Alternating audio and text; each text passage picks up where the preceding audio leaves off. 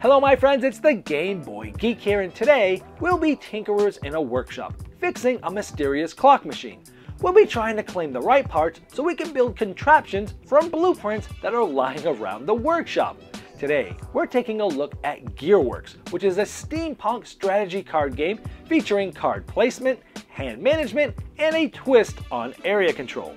It's up for 1 to 4 players, takes 30 to 45 minutes to play, and is for ages 10 and up, and published by Piecekeeper Games.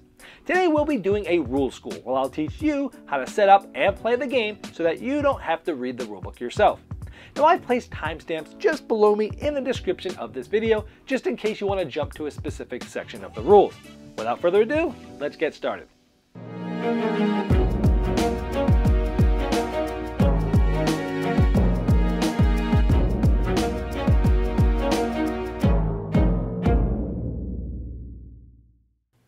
Gearworks is a 1 to 4 player game where each of you will be one of these tinkerers in the workshop and you'll be trying to build contraptions like butterflies, phonographs, and goggles by using the parts or part that's needed in order to build it.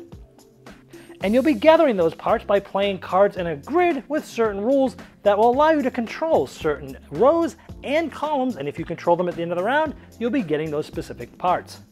But the twist is you can only have the same color once in each column, and each row has to go in a specific ascending or descending order and certain things will allow you to gain sparks which you'll use as a form of currency to spend to break some of the rules of the game. And each of the Tinkerers has a special ability which you can use once per round to give the game extra flavor. There's also a two-player setup that keeps the board tight, and there's a solo version for all of us solo gamers. Gearworks has simple mechanisms but lots of depth and replayability for gamer enthusiasts or casual gamers. I'm going to show you how to set up for a three or four player game. At the end of this video, I'll show you how to set up the two player rules and the solo game, but even if you're playing in one of those two types of games, I suggest you watch through the entire video because much of what I'm going to show you will not change. First find the nine gear tokens. You're going to find ones that have A through E and 1 through 4. You'll use these to create a 5 by 4 grid. Five columns using the letters going in alphabetical order, A through E from left to right, and a column going from 1 to 4, top to bottom. And you'll want to keep them spaced out so that the cards will be able to fit in each of these spots of the grid. Then find the gear cards. You're going to shuffle these up and you're going to place them beside the grid where they're easy to reach. You're then going to draw four cards from here and in the order that they're drawn, you're going to be placing them out into the grid. First in A2, then in B1. Notice that it leaves the top leftmost card of the grid empty. Then in grid spot D4, and then E3, noticing that the bottom right spot of the grid in E4 is empty. Next, you'll locate all the different part types and stack them next to the corresponding gear token beside the grid. For example, this is number 4, it goes at number 4, and it also shows the icon of what that part is. And you'll do this for all the numbers and letters as shown. You'll also place all of the sparks near the deck of gear cards that you've already placed, and you're also going to shuffle up and place the contraption cards next to that deck. Next, give each player one of these Tinkerers, making sure it's face up, meaning you can actually read the ability below the name. Any Tinkerers not being used in this game can be removed from the game and placed back in the box. Then each player next to their Tinkerer is going to get 5 gear cards face down, 1 contraption card face down, a player aid that is double-sided, and one spark. You're then going to determine the first player, and that's going to be the player who most recently fixed something that was broken. Now, if you're playing with four players, the last player in turn order will also get an additional second spark. The object of the game is to have the most points at the end of the game, and you'll be getting points by completing contraptions, sometimes with both parts that are needed, sometimes even with just one part that's needed, and you'll also be getting points by having parts that you didn't end up using in contraptions, as well as leftover sparks that you have not spent throughout the game. The game is played over three rounds. Each round, players are going to be taking turns in clockwise order until all players have consecutively passed.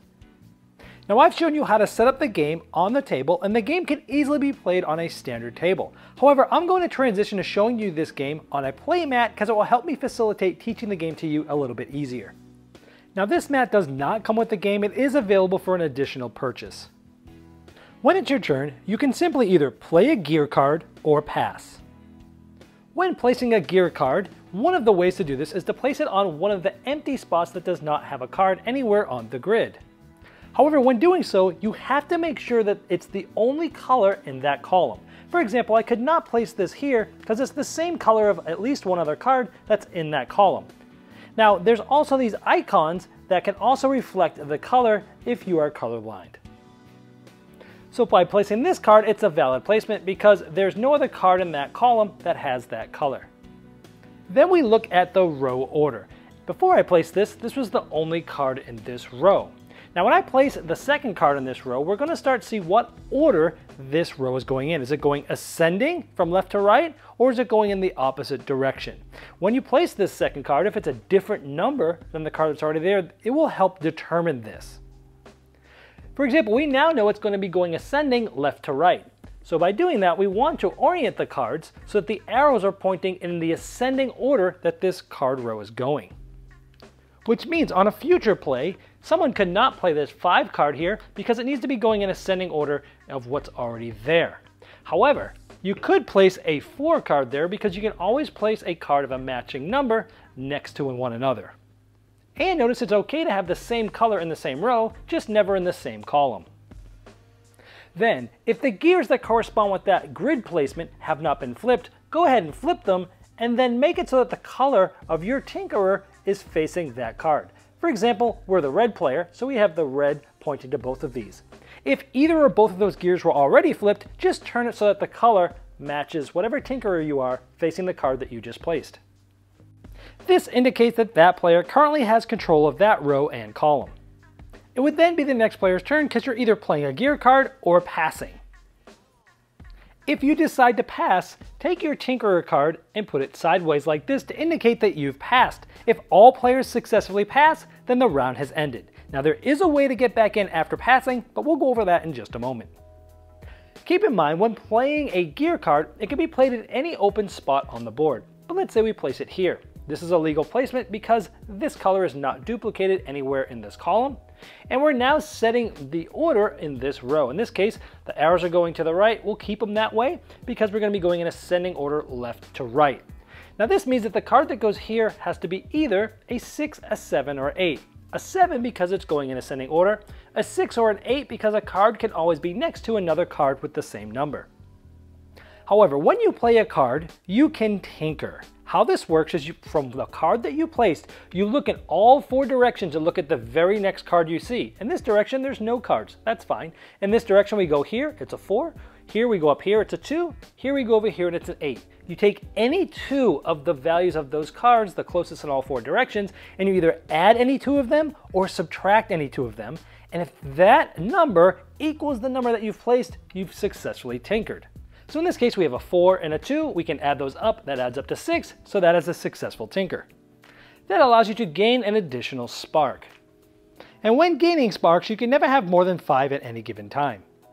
The other way to gain a spark is to discard any two gear cards face down to the bottom of the deck, and you'll get one spark for that. And you can do this as many times as you want on your turn. What can you do with these sparks? There's four different ways you can spend sparks. One of them is to replace a gear card. On your turn, when you play a gear card, before we were showing you placing it in any of these open areas. Well, you can spend two sparks to the supply. You'd spend them and put them right here. And then you can play on top of another gear card. Now, all the other placement rules still exist, and you cannot tinker with this card that's been played on top. So even though this is a six, we cannot get a spark for tinkering, even though the four and the two add up to 6. Earlier I mentioned that if you pass as a way to get back in the game, assuming that all the other players did not successfully pass, which would have ended the round. So if it comes back to your turn after you've passed and there's at least one other player in, you can spend a spark back to the supply to get back into the round. You can then immediately take your turn as normal. You can also spend one spark to the supply to gain a gear card to your hand. You can do this as many times during your turn as you want, as long as you have the sparks to spend, and you can do it any time during your turn. However, there is a hand limit of 8 gear cards and you can never have more than 8 cards in your hand at any given time. The last thing you can do with spending sparks is you spend two to the supply to gain a contraption card, and you can do this as many times as you want on your turn and any time during your turn, obviously assuming that you have enough sparks to spend. And keep in mind that one side of your player aid does talk about spending sparks and how much they are and what you can do. Once all players have successfully passed, that's the end of the round, and at that point nobody can spend more sparks to re-enter the round. First, players will claim parts. You look at each column and row, and you'll see which player by color is controlling that row. That player will be able to take the part corresponding with that column or row and place it in front of them. And as this is being done, you then flip the token back over face down. Then all players can reveal contraption cards that they'd like to build this round.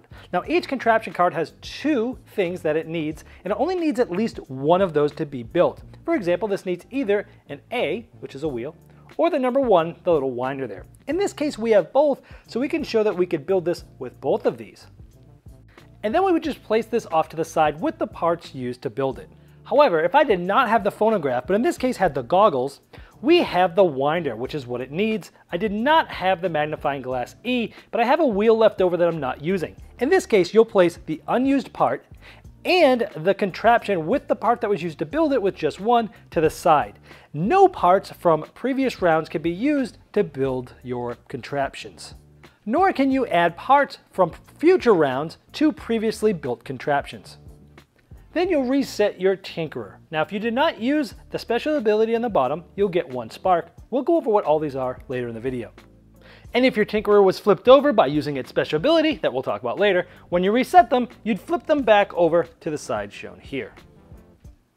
Next, you'll reset up the grid, and you'll do that by taking all the cards on the grid, shuffling them with the gear deck, and placing four new cards out in those starting locations. You'll then deal five more gear cards out to every player, making sure that if they still have cards left over from previous rounds, you never go over eight cards. Next, you'll determine the leader, and you'll do this by counting all the total parts that each player has, either unused or in contraptions. If there's a tie, break that tie by whoever has the most sparks, and if it's still tied, the most gear cards in hand. And that leader will be the first player in the following round.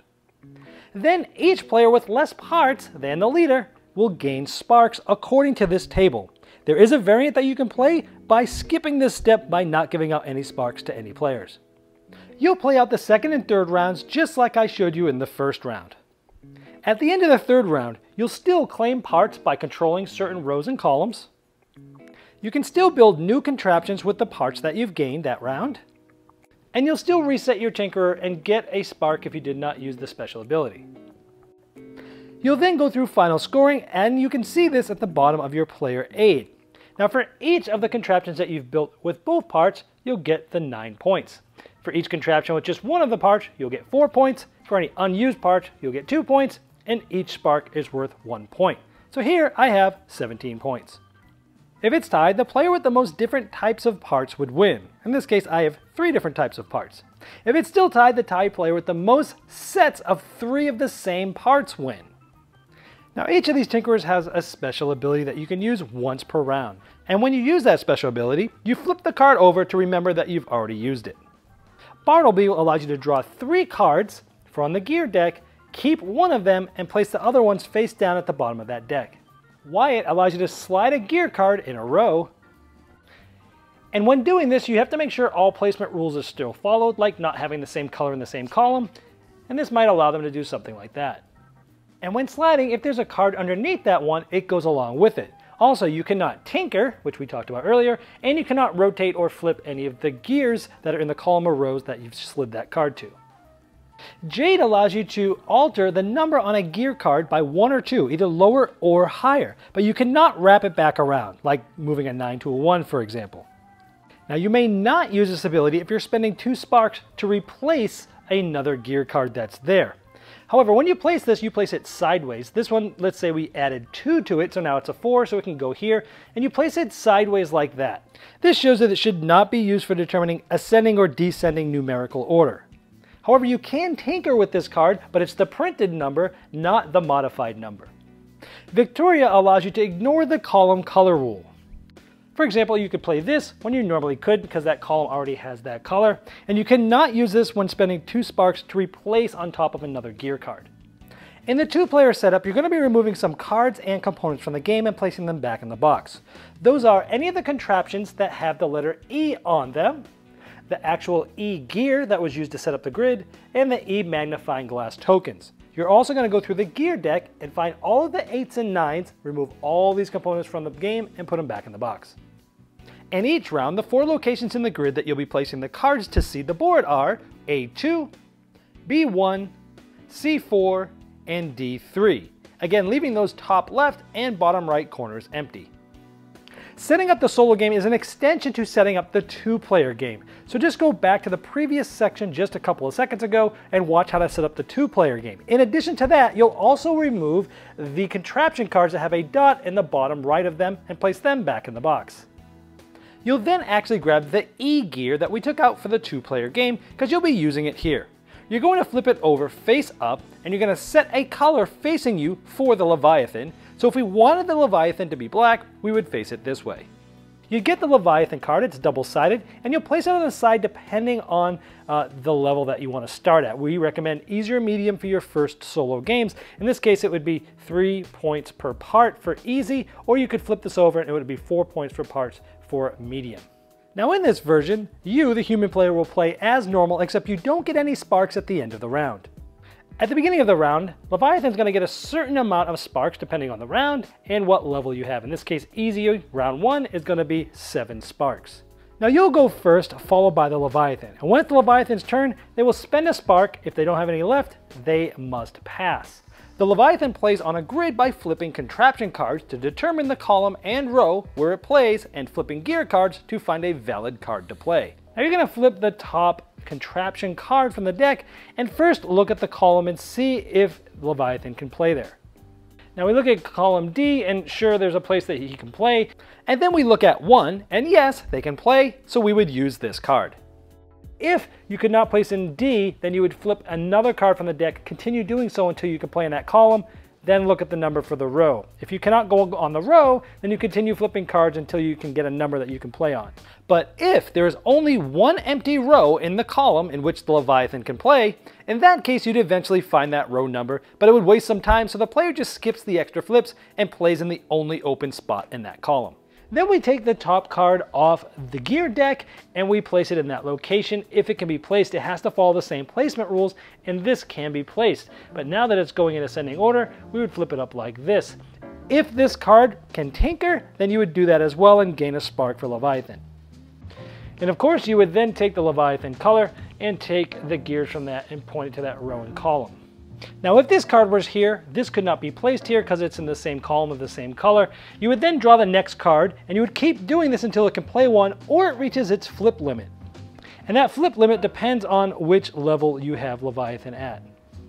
Now if the location is already occupied by a gear card and there's four or fewer spaces, then Leviathan must spend a spark and play on top of that gear card. And if he doesn't have enough sparks, he must pass. And as you can see, there's different levels where the human player may use their special ability or not. At the end of the game, Leviathan will get a certain amount of points depending on how many parts he has, and then also get two points for each spark, and then you see if you can beat him or not. Well, I hope this helped you dive right into Gearworks and get to the fun quicker than you normally would if you had to read the rulebook yourself. Now, if you have further questions, below me, I've placed a link in the description of this video, and that's the best place to ask them, because not only will I be notified, but so will Piecekeeper Games.